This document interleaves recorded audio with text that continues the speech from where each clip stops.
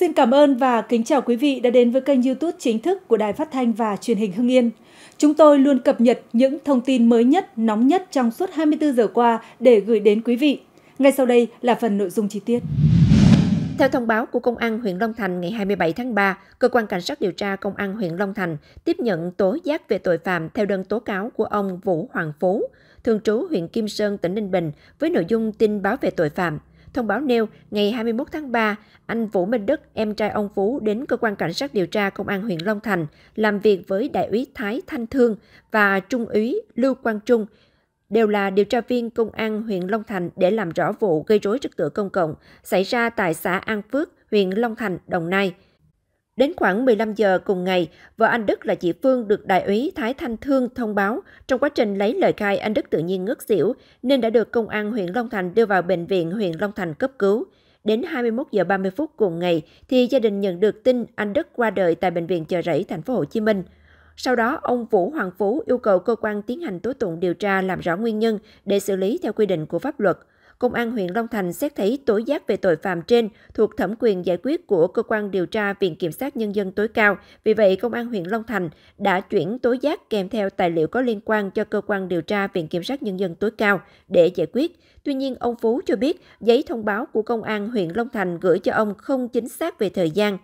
22 tháng 3, chứ không phải ngày 21 tháng 3 như trong thông báo.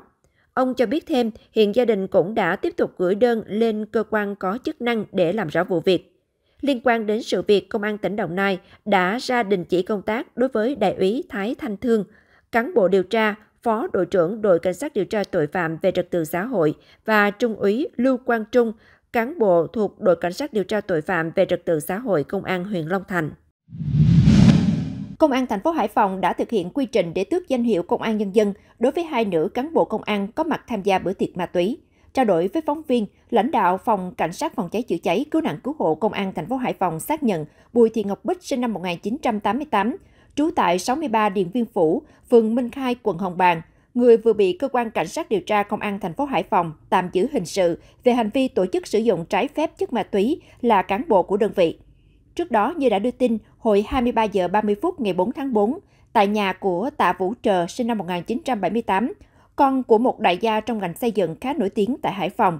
ở một khu đô thị cao cấp thuộc phường Thượng Lý, quận Hồng Bàng, Phòng Cảnh sát điều tra tội phạm về ma túy triệt xóa ổ nhóm sử dụng trái phép chất ma túy, bắt 12 đối tượng gồm 7 nam và 5 nữ. Qua kiểm tra, lực lượng công an đã phát hiện 9 trên 12 đối tượng dương tính với ma túy, thu giữ 0,13 gram ketamine và một số tăng vật có liên quan.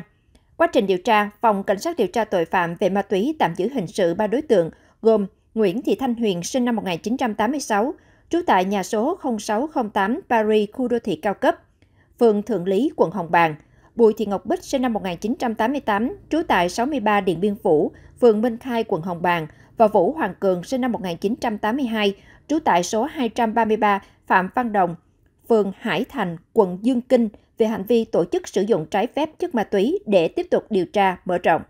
Nguồn tin riêng của báo Người Lao động cho hay, vào thời điểm lực lượng công an xuất hiện, trong số 5 chân dài có mặt tham gia bữa tiệc, ngoài Bùi Thị Ngọc Bích là cán bộ phòng cảnh sát phòng cháy chữa cháy cứu nạn cứu hộ, còn có VA, nữ cán bộ đội hình sự kinh tế ma túy, công an quận Dương Kinh, thành phố Hải Phòng cũng dương tính với ma túy.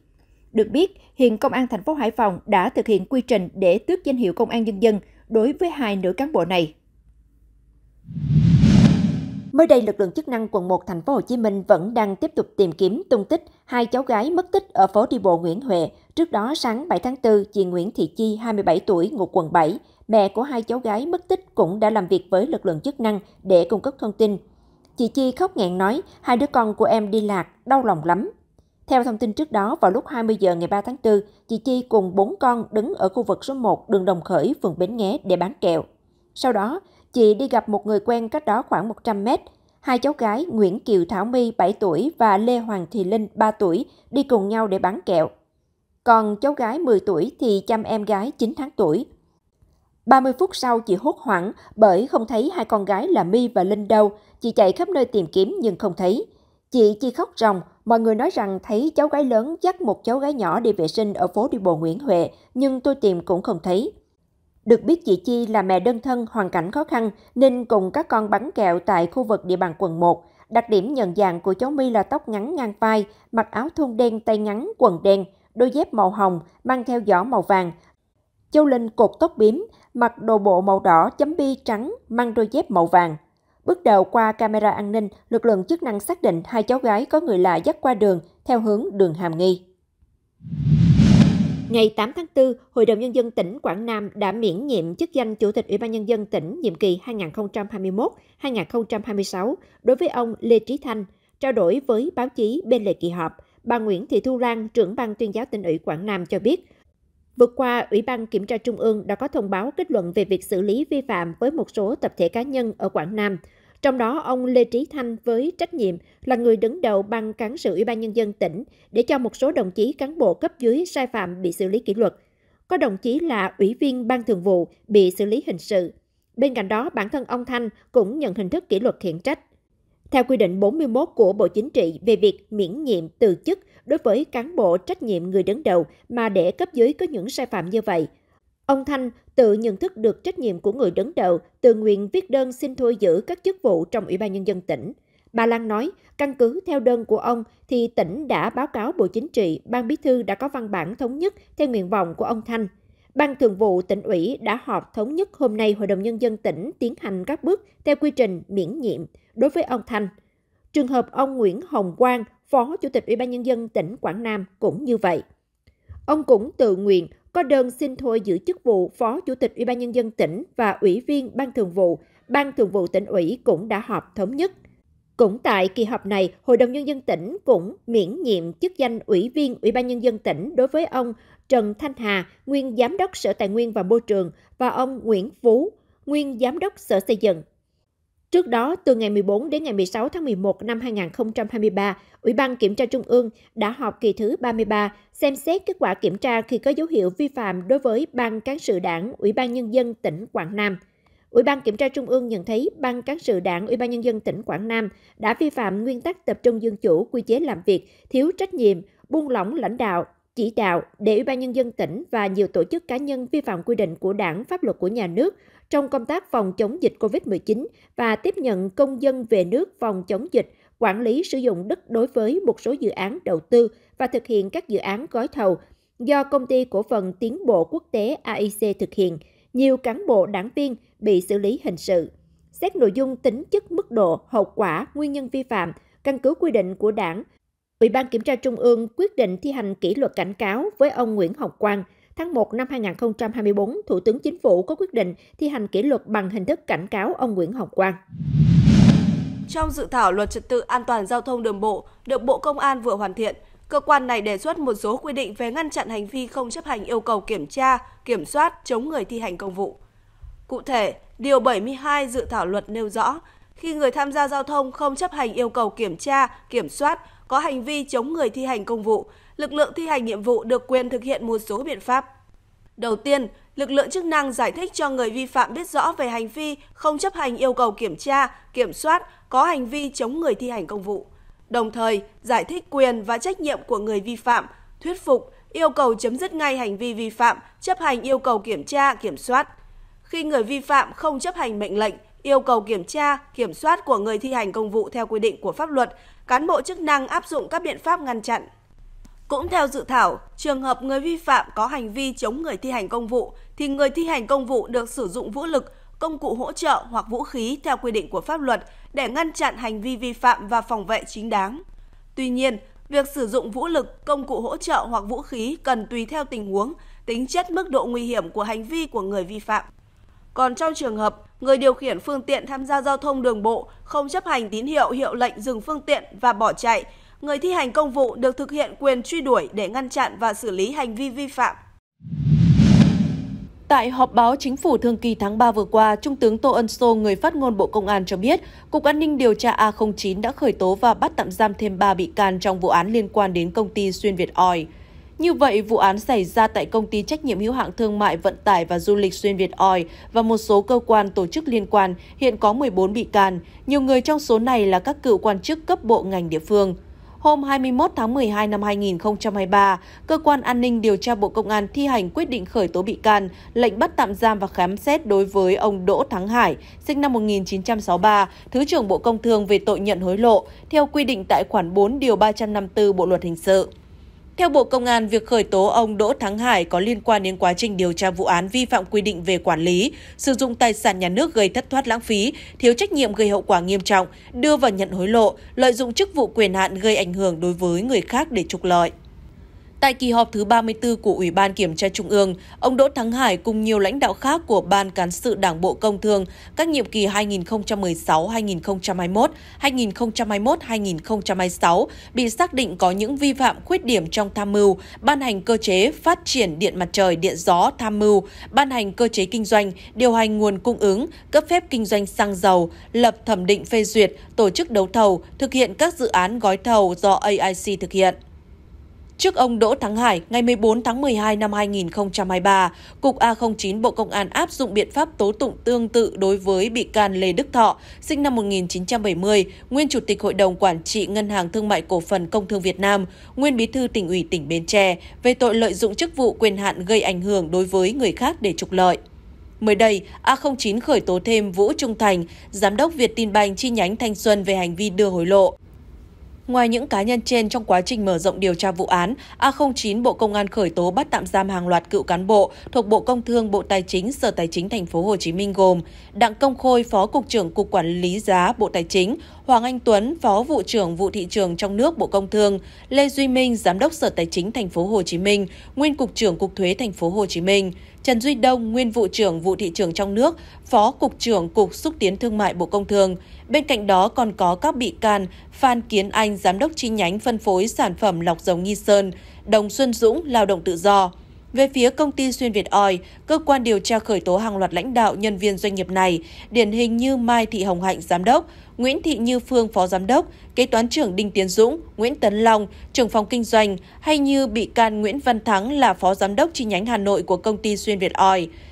Theo kết quả điều tra, cơ quan điều tra A09 xác định các bị can đã lợi dụng việc nhà nước giao thu hộ tiền trích lập quỹ bình ổn giá xăng dầu từ người tiêu dùng thông qua quản lý sử dụng tài sản công. Các bị can đã không nộp tiền vào tài khoản theo quy định. Họ dùng thủ đoạn gian dối lập và sử dụng quỹ không đúng thực tế để chiếm đoạt cho mục đích cá nhân gây thất thoát cho nhà nước. Cơ quan cảnh sát điều tra Công an quận Bình Thạnh, thành phố Hồ Chí Minh vừa qua cho biết đã khởi tố bị can, bắt tạm giam đối với Võ Doãn Tấn và Võ Doãn Mỹ Thạnh, Võ Doãn Mỹ Phước là hai người em của Tấn để điều tra hành vi lừa đảo chiếm đoạt tài sản. Liên quan đến vụ án, luật sư Lê Minh Thái và nhân viên Nguyễn Đức Hải bị bắt về tội lừa đảo chiếm đoạt tài sản và đưa hối lộ. Còn Nguyễn Đắc Công, cán bộ văn thư lưu giữ, Ủy ban Nhân dân phường 6 quận Bình Thạnh bị điều tra hành vi giả mạo trong công tác. Theo hồ sơ vụ án, Tấn, Thạnh và Phước là ba trong số 11 người được quyền thừa kế căn nhà trên đường Bạch Đằng, phường 24, quận Bình Thạnh, trị giá khoảng 80 tỷ đồng.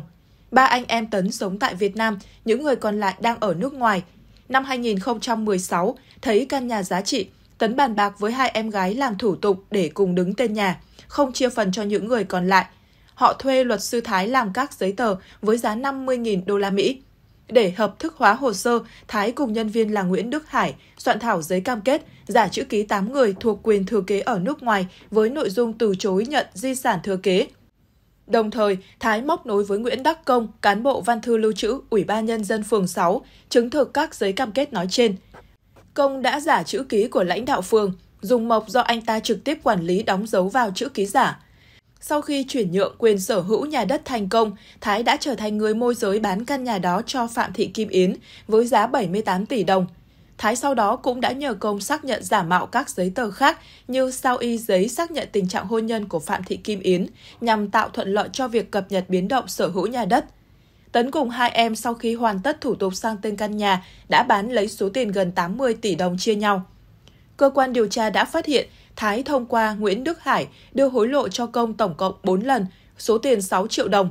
Vào tháng 7 năm 2017, khi Ủy ban Nhân dân quận Bình Thạnh nhận ra hồ sơ có dấu hiệu vi phạm pháp luật, đã yêu cầu cơ quan cảnh sát điều tra công an quận Bình Thạnh tiến hành xử lý. Qua điều tra, cơ quan này đã thông báo cho Tấn và các anh em của mình rằng cam kết từ chối nhận di sản thừa kế bởi những người thừa kế ở nước ngoài đã được Nguyễn Đắc Công làm giả mạo. Dù vậy, do lòng tham, Tấn, Thạnh và Phước không muốn hoàn trả số tiền từ việc bán nhà, đã cung cấp thông tin không chính xác và yêu cầu tòa xử lý khai tử cho 8 người thừa kế đang sống ở nước ngoài, nhằm hợp pháp hóa giao dịch bất động sản. Cơ quan điều tra khẳng định Nguyễn Đắc Công đã tận dụng vị trí công tác của mình, nhận tiền từ Lê Minh Thái để chứng nhận giả mạo tài liệu. Khi lãnh đạo Ủy ban Nhân dân phường 6 từ chối ký vào hồ sơ, Công đã giả mạo chữ ký của họ và sử dụng con dấu để xác nhận.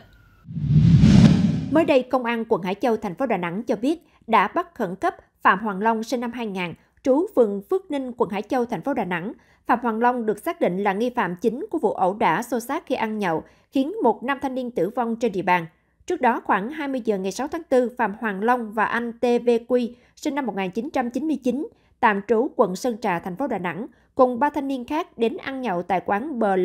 đường Trưng Nữ Vương, quận Hải Châu, thành phố Đà Nẵng. Trong lúc ăn nhậu, hai bên đã xảy ra cự cãi đánh nhau. Bị Quy đánh, Phạm Hoàng Long bực tức đập bể chai bia, rồi cầm phần vỏ chai thủy tinh vỡ ra tay vào vùng cổ của anh Quy. Cú tác động trúng vào động mạch cổ, khiến nạn nhân mất nhiều máu tử vong trên đường đi cấp cứu. Sau khi gây án, đối tượng đã trình diện cơ quan công an. Vụ án mạng gây xôn xao dư luận khi một số hình ảnh video được nhiều người chia sẻ lên mạng xã hội. Tiếp nhận thông tin, lực lượng công an, viện kiểm sát đã có mặt tại hiện trường để điều tra vụ việc. Trao đổi với phóng viên, lãnh đạo công an quận Hải Châu cho hay đối tượng Phạm Hoàng Long là nhân viên IT, chưa có tiền án tiền sự. Phạm Hoàng Long còn là một bí thư chi đoàn ở khu dân cư. Hung thủ và nạn nhân là bạn học cùng với nhau vì mâu thuẫn nhất thời tại bàn nhậu mà gây nên sự việc đáng tiếc. Công an quận Hải Châu, thành phố Đà Nẵng đang mở rộng điều tra làm rõ nguyên nhân vụ việc. Sau quá trình điều tra, mới đây Văn phòng Cơ quan Cảnh sát điều tra Công an tỉnh Đắk Lắk đã ra quyết định khởi tố bị can, lệnh bắt tạm giam 4 tháng đối với Vũ Quốc Sơn, 43 tuổi, trú tại phường Thành Nhất, thành phố Buôn Ma Thuột, tỉnh Đắk Lắk để điều tra về hành vi sát hại người. Vũ Quốc Sơn đã dùng dao bầu đâm tử vong ông Phan Tiến Công, 46 tuổi, trú cùng phường Thành Nhất. Theo hồ sơ vụ việc, khoảng 9 giờ ngày 15 tháng 3, Vũ Quốc Sơn điều khiển xe máy đến nhà một người quen ở phường Thành Nhất, thành phố Buôn Ma Thuột, tỉnh Đắk Lắk ăn nhậu. Khoảng 10 giờ 30 phút cùng ngày, ông Phan Tiến Công và một người khác cũng đến chơi. Thời điểm trên, do uống nhiều rượu mệt nên Sơn đi lên ghế phòng khách nằm nghỉ. Một lúc sau, ông Công cầm dao khoảng 20cm đến nắm cổ áo Sơn hù dọa. Hôm qua, mày đòi đánh ai? Thấy vậy, mọi người xúm lại ngăn cản nhưng ông Công vẫn tát trúng mặt Sơn. Bực tức, Sơn đi lấy dao bầu dài khoảng 30cm chém một nhát về phía ông Công nhưng không trúng. Tiếp đó, ông Sơn dùng dao đâm trúng vùng ngực của ông Công khiến nạn nhân gục xuống tại chỗ.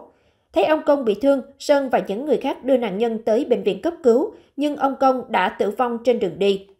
Kết luận giám định pháp y cho thấy ông Công tử vong do vết đâm thấu ngực trái làm thủng tim, dẫn đến suy tuần hoàn cấp do mất máu. Hiện cơ quan chức năng đang tiếp tục điều tra xử lý vụ việc theo quy định của pháp luật. Mới đây, ông Đinh Văn Thiệu, Phó Chủ tịch Ủy ban nhân dân tỉnh Khánh Hòa chủ trì cuộc họp khẩn với các ngành địa phương về công tác đảm bảo an toàn thực phẩm trên địa bàn sau vụ học sinh lớp 5 tử vong ở thành phố Nha Trang. Tại cuộc họp, đại diện Sở Y tế Khánh Hòa thông tin về vụ việc hàng loạt học sinh trường tiểu học Vĩnh Trường và trung học cơ sở Trần Hưng Đạo nhập viện vào sáng ngày 5 tháng 4. Theo đó, 37 học sinh của hai trường này nhập viện điều trị nghi ngộ độc. Hiện sức khỏe của các em đã ổn định. Cùng buổi sáng ngày 5 tháng 4, một học sinh lớp 5 sau khi ăn sushi uống nước ngọt khoảng 30 phút thì có biểu hiện muốn nôn, sùi bọt mép. Em đã được đưa đi cấp cứu nhưng tử vong ngoại viện. Nguyên nhân tử vong đang được điều tra. Sở Y tế tỉnh Khánh Hòa cho biết hiện cơ quan chức năng đã tiến hành giải phẫu tử thi học sinh tử vong để tìm nguyên nhân và sẽ có thông tin sớm nhất đến các cơ quan báo chí khi có kết quả. Sau sự việc, Trung tâm Y tế Nha Trang đã tiến hành lấy mẫu thức ăn, nước uống của các hộ xung quanh địa điểm trường được cho là liên quan đến vụ ngộ độc thực phẩm để gửi Viện Pasteur Nha Trang kiểm nghiệm tìm nguyên nhân. Trước đó không lâu, 10 học sinh ở Nha Trang cũng nhập viện nghi ăn cơm gà trước cổng trường. Trường hợp khác hồi giữa tháng 3 có 369 người bị ngộ độc sau khi ăn cơm gà tại tiệm cơm gà Trâm Anh, thành phố Nha Trang. Nguyên nhân ngộ độc được cho là các món gà sốt trứng dưa chua lây nhiễm chéo các vi khuẩn Salmonella, Bacillus cereus, Staphylococcus aureus. Mẫu nước giếng tại quán ăn này ghi nhận có vi khuẩn. Hay như trước đó năm 2022, hơn 660 học sinh một trường học nhập viện sau bữa cơm trưa, trong đó một học sinh tử vong, nguyên nhân ngộ độc do vi khuẩn Salmonella từ món cánh gà. Tại cuộc họp, ông Nguyễn Tấn Trung, Phó Giám đốc Sở Thông tin Truyền thông Khánh Hòa cho biết, qua kiểm tra có hơn 20 tài khoản mạng xã hội đăng thông tin về vụ việc trên, trong đó có 6 trường hợp đăng thông tin không đúng sự thật. Sở đang phối hợp với cơ quan công an để mời các trường hợp này lên làm rõ xử lý theo quy định. Theo Thượng tá Nguyễn Thị Minh Thảo, Phó trưởng phòng Cảnh sát Kinh tế Công an tỉnh Khánh Hòa, qua công tác điều tra các vụ ngộ độc thực phẩm vừa qua, thì trường Ice School Nha Trang và quán cơm gà Trâm Anh đều dùng nước giếng ngầm để rửa thức ăn nhằm tiết kiệm chi phí. Nguồn nước này được xác định đều nhiễm khuẩn. Mặt khác, thời gian qua cũng phát hiện rất nhiều nguồn thực phẩm là gà không có nguồn gốc xuất xứ, giá cũng rất rẻ. Kết luận cuộc họp, Phó Chủ tịch Ủy ban nhân dân tỉnh Khánh Hòa Đinh Văn Thiệu đề nghị các ngành địa phương cần tăng cường công tác thông tin truyền thông, nâng cao nhận thức của người dân về an toàn thực phẩm, xử lý nghiêm các trường hợp vi phạm theo quy định pháp luật. Theo Phó Chủ tịch Ủy ban nhân dân tỉnh, thịt gà là một trong những nguyên nhân chủ đạo gây ngộ độc thực phẩm vừa qua. Ông đề nghị các sở ngành nhanh chóng thực hiện kiểm tra an toàn thực phẩm trên địa bàn toàn tỉnh. Các đoàn phải thực hiện kiểm tra tất cả các thực phẩm, trong đó tập trung các cơ sở giết mổ kinh doanh thực phẩm từ gà. Mới đây, Thông tin từ nhóm cố vấn bom mìn MAG tại Việt Nam cho biết, đội xử lý bom mìn lưu động của MAG tại Quảng Bình vừa phối hợp với Bộ Chỉ huy quân sự tỉnh và các đơn vị liên quan xử lý thành công một quả bom lớn còn sót lại sau chiến tranh, có trọng lượng khoảng 230 kg, chiều dài hơn 1,5 mét. Theo đó, lúc 16 giờ ngày 4 tháng 4, tại bờ kè sông Nhật Lệ, đoạn đường Trương Pháp, phường Hải Thành, thành phố Đồng Hới, một công nhân trong quá trình thi công công trình mở rộng đường thuộc dự án phát triển cơ sở hạ tầng du lịch trên địa bàn đã phát hiện quả bom nói trên. Điều đáng lo ngại là vị trí quả bom được phát hiện nằm sát bờ kè sông Nhật Lệ, nơi có mật độ dân cư và xe cộ qua lại đông đúc, cách bãi biển Nhật Lệ khoảng 500 mét. Đây cũng là nơi tàu bè của ngư dân neo đậu hàng ngày nên tiềm ẩn rất nhiều nguy hiểm. Ngay sau khi phát hiện quả bom, chủ đầu tư công trình đã chỉ đạo đơn vị tạm dừng thi công, di rời máy móc thiết bị, nhân lực ra khỏi khu vực phát hiện quả bom, đồng thời phối hợp với đồn biên phòng Nhật Lệ và lực lượng quân sự tại địa phương để rào chắn, bảo vệ. Nhận được yêu cầu từ Bộ Chỉ huy quân sự tỉnh Quảng Bình, sáng ngày 5 tháng 4, nhóm cố vấn bom mìn đã lập tức cử đội xử lý bom mìn lưu động tại Quảng Bình cùng các chuyên gia tới hiện trường, cùng phối hợp với các đơn vị để kịp thời xử lý quả bom. Theo các chuyên gia kỹ thuật của nhóm cố vấn bom mìn, đây là quả bom mang số hiệu MK82 được Mỹ thả xuống trong chiến tranh nhưng chưa nổ. Quả bom có bán kính sát thương khoảng 1 km. Sau khi thiết lập các biện pháp an toàn, các chuyên gia của MAG đã tiến hành khảo sát và đánh giá kỹ lưỡng tình trạng quả bom. Quả bom được xác định đủ điều kiện di chuyển và đã được đưa về khu vực lưu kho an toàn, chờ hủy nổ tập trung theo quy định. Sau khi khảo sát và đánh giá tình trạng quả bom, lực lượng chức năng tiến hành di chuyển về khu vực lưu kho an toàn, chờ hủy nổ. Nghe tin ông Huỳnh Phú Tê gửi đơn xin khai thác 3 tấn vàng dưới dòng sông Cà Ti, người thân rất bất ngờ và sốc. Mẹ của ông Huỳnh Phú Tê, 42 tuổi, chú xã Long Điền, huyện Đông Hải, tỉnh Bạc Liêu cho biết, bà rất bất ngờ khi truyền thông đưa tin con trai gửi đơn xin khai thác 3 tấn vàng dưới dòng sông Cà Ti, thành phố Phan Thiết, Bình Thuận. Mẹ ông Tê chia sẻ, con trai tôi từng nằm mơ thấy kho báu và muốn đi tìm, nhưng tôi ra sức ngăn cản vì đó là chuyện không có căn cứ. Thật không ngờ con lại làm như vậy. Nghe người thân thông báo vụ việc, chồng tôi bị lên máu vì sốc và đang nằm ở nhà. Hàng xóm gần nhà ông Tê thì cho hay, người đàn ông này trước đó nuôi tôm nhưng thua lỗ. Thời gian gần đây, ông Tê từng lên Bình Thuận làm nghề bơm cát, sau lại về quê đi vác muối thuê. Như đã đưa tin, ông Tê gửi đơn tới Ủy ban Nhân dân tỉnh Bình Thuận cùng ban ngành chức năng xin khai thác kho báu 3 tấn vàng dưới dòng sông Cà Ti và nhận 30% tổng tài sản thu được, phần còn lại sẽ bàn giao cho nhà nước. Theo đơn trình bày, ông Tê cho biết ông tổ của mình đã phát hiện quân đội Nhật trôn giấu khoảng 3 tấn vàng và vật quý dưới dòng sông Cà Ti, đoạn chảy qua thành phố Phan Thiết. Ông Tê cho hay, do thời gian quá dài nên tư liệu và hình ảnh không còn, hiện thông tin về kho báu truyền đến đời ông và chỉ ông biết được địa điểm. Do đó, nếu được tỉnh Bình Thuận cho phép, ông Tê dự kiến sẽ phối hợp với các đối tác để khai thác kho báu. Để an toàn, ông Tê đề xuất có lực lượng công an bảo vệ và cán bộ tài chính kiểm kê tài sản sau khi khai thác được. Đồng thời, nếu được chấp nhận khai thác, ông Tê cam kết ký quỹ khắc phục môi trường với số tiền 500 triệu đồng và xin nhận lại sau khi hoàn thành.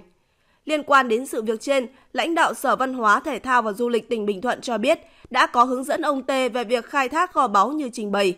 Theo đó, ông Tê được đề nghị cung cấp thông tin, tư liệu, hình ảnh chứng minh về nơi trôn giấu vật quý, tổ chức lập phương án thăm dò, ký quỹ cam kết khắc phục môi trường. Sau đó, ông Tê phải gửi các nội dung trên về sở để kiểm tra đối chiếu. Nếu đảm bảo các điều kiện, Sở sẽ tham mưu Ủy ban Nhân dân tỉnh xem xét, phê duyệt phương án theo quy định.